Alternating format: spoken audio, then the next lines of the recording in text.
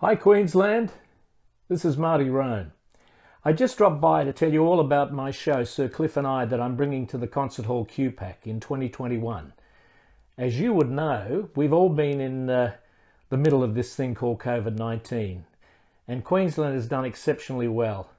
And I can't wait to bring this show to you. Sir Cliff and I is over two hours of great entertainment where I do all of Cliff's greatest hits, my hits, and tell the story of uh, both our long careers that have very many similarities.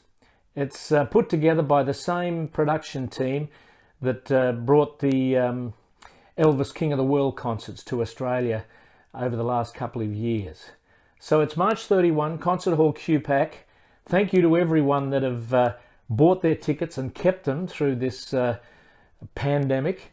And we're going to feel like having a heap of fun on March 31 next year. I am, and I hope you are. So let's get together March 31 and we'll have a we'll have a fantastic time. See you then.